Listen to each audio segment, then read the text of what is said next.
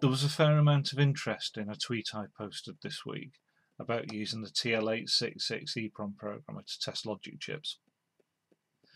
This appears to be a function that not many people know about, so I figured a quick video to demonstrate how to do this was in order. You may not be familiar with the programmer.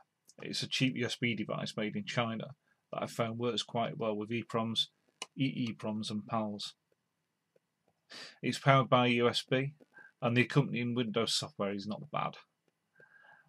The manufacturers don't supply software for Linux or Mac, but I believe there are third-party command line tools available for those operating systems.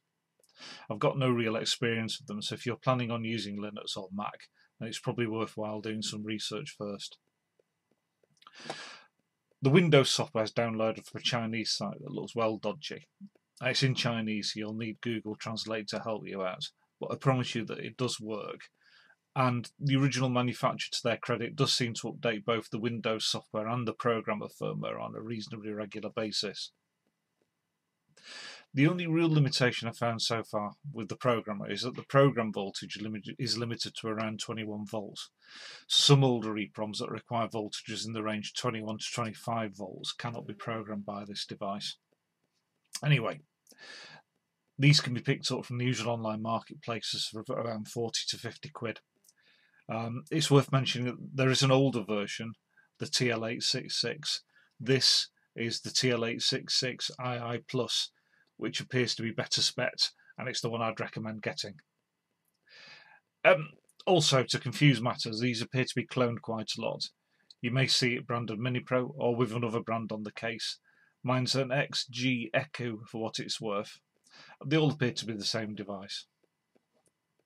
Um, I've got a couple of logic chips up here I want to test. Uh, MOS 7708s. Uh, these are functionally equivalent to uh, 74 LS257s. They're a multiplexer chip. And I don't know whether they work. Uh, the Commodore 64 is broken, that they've been taken out of, so I suspect either of these chips are faulty. Um, so let's test them. So the first thing you need to do is launch the software after plugging the Mini Pro into the PC, of course. And then select the chip type. Uh, so we select that in much the same way that we select flash, only this time um, in the list on the left hand side we'll select Logic IC um, and then we'll search for the device. 257 isn't it? Uh, 74 LS257 we'll select that as the device to test.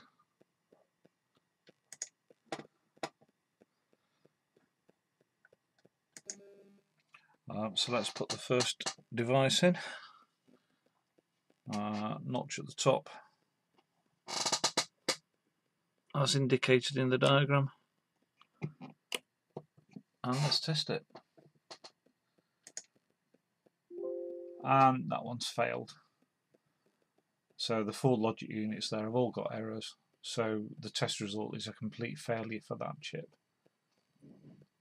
Um, so I'll put that one to one side. That's destined for the bin I think and let's test the other one Again, notch at the top.